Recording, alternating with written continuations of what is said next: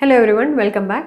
So before uh, viewing this session, I would like you all to see the sessions on the white matter of cerebrum first, followed by the corpus callosum. Then you you have to see the session on the internal capsule, the introduction along with the arrangement of motor fibers. Then you have to see this session.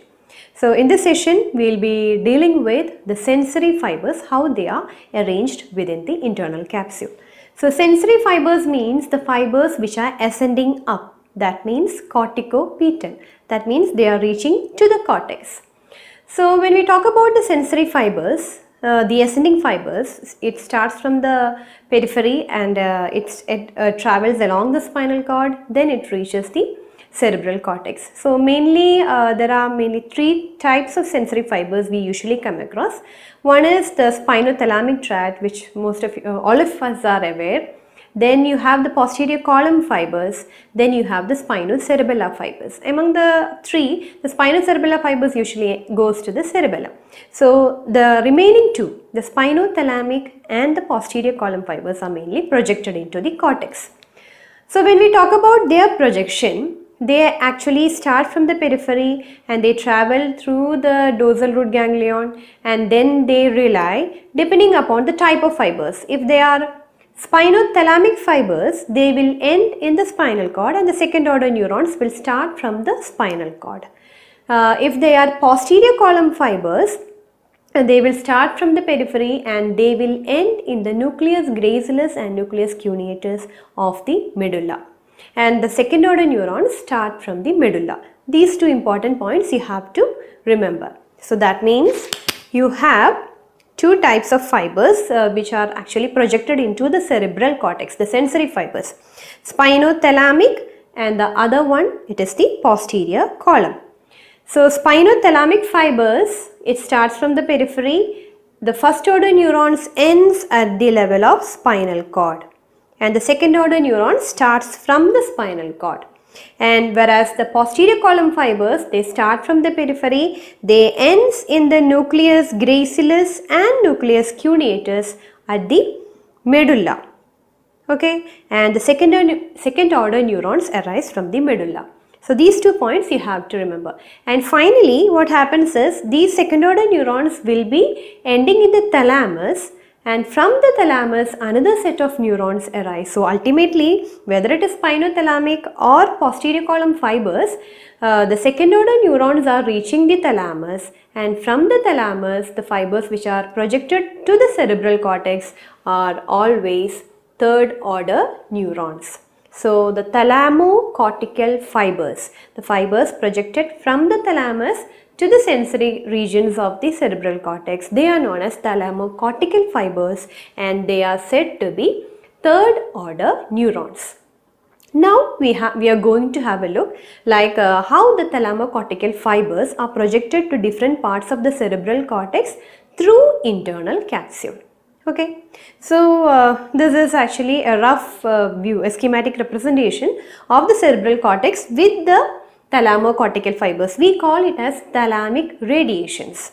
So you have the anterior thalamic radiations, you have the superior thalamic radiations, you have the posterior thalamic radiations and you have the inferior thalamic radiations. These are the major thalamic radiations which are radiating from the thalamus and which are passing through the internal capsule. So when we talk about these radiations, these are arising from the different nuclei in the thalamus. So I will be dealing with the different types of thalamic, thalamic nuclei in detail but for the time being you have to know, uh, you can just remember the thalamic nuclei as anterior group, then you can divide it as medial group and lateral group. And the other parts of the thalamus like medial geniculate body, lateral geniculate body, reticular nuclei and so on. So for the time being, you just remember that thalamus is divided into an anterior group of nuclei, the medial group, the lateral group, then you have the other parts like medial and lateral geniculate bodies. So these radiations will be arising from some of these nuclei. And this medial and lateral group are again divided into a dorsal uh, group and a ventral group. That also you have to keep in mind because you need to know uh, have a rough idea about the thalamic nuclei because we are going to talk about the thalamic radiation. So you will be mentioning each thalamic radiation arising from different parts of the thalamus. Okay? So we will be seeing one by one. First we will see the anterior thalamic radiation so this is anterior thalamic radiation so uh, it arises from the thalamus and it goes to the cortex so we need to know which part of the thalamus it arises and which part of the cortex it reaches and through which part of the internal capsule. That is how we are going to study this. From which part of thalamus it is arising to which part of cortex it is going and through which part of the internal capsule. So first we will see anterior thalamic radiations. It is almost going to the anterior aspect. Here you have the frontal lobe, right?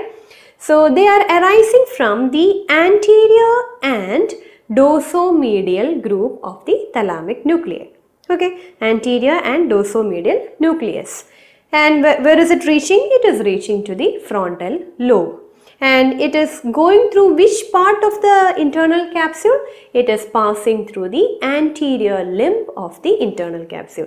So, anterior thalamic radiation is actually passing through the anterior limb of the internal capsule.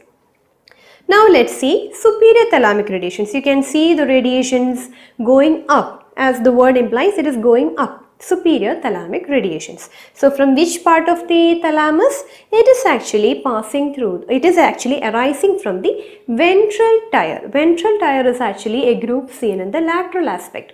So it is arising from the ventral tier of the thalamus and where is it going? It is going to the frontal and parietal. So it is frontal and it is parietal, right?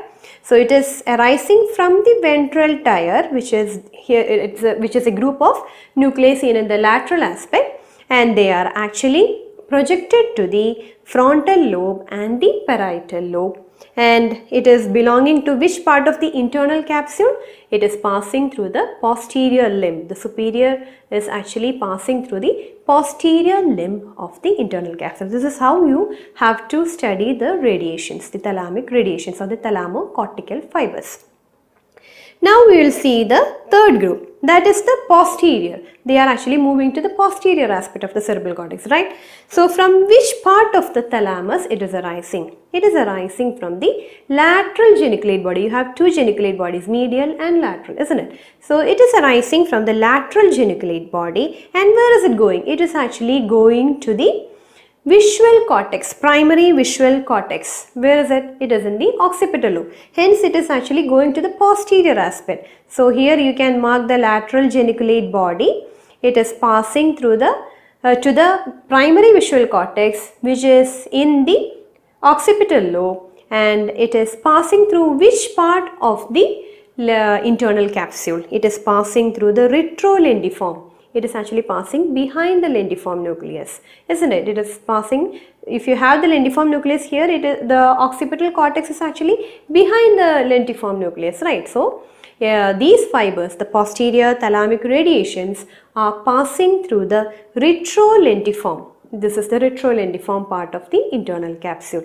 It is actually passing to the posterior aspect. So uh, most of you would uh, will have a confusion like whether it is medial or lateral through which the optic radiations are passing. Actually the radiations which are arising from the geniculate body, lateral geniculate body are specially named as optic radiations or geniculocalcarine tract. Geniculo means lateral geniculate body and calcarine means the calcarine cortex.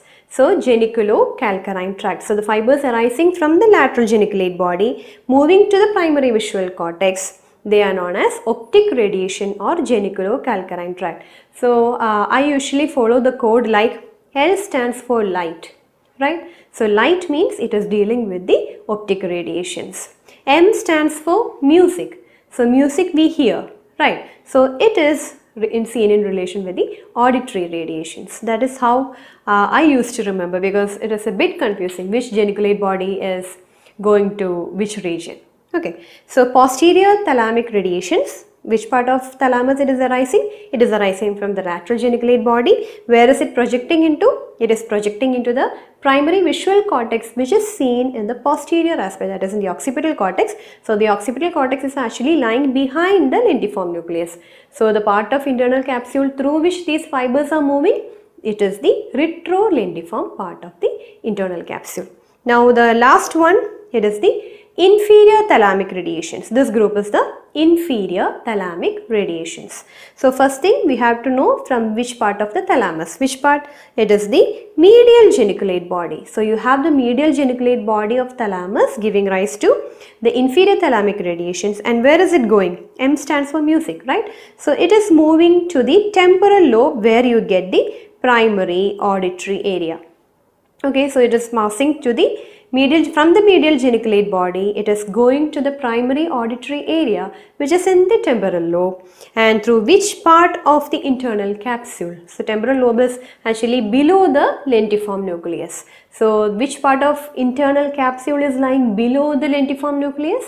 It is the sublentiform part of the internal capsule. So these fibers should pass through the sublentiform part of the internal capsule so this is how the thalamic radiations are arranged. The anterior, superior, posterior and inferior.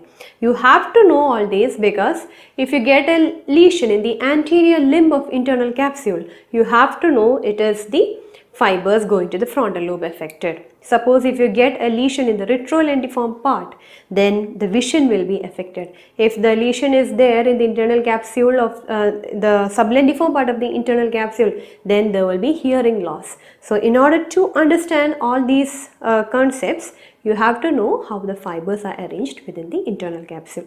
So that's all about sensory fibers. Uh, the arrangement of sensory fibers in the internal capsule. In the next session, we will be talking about the blood supply of internal capsule. Thanks for watching.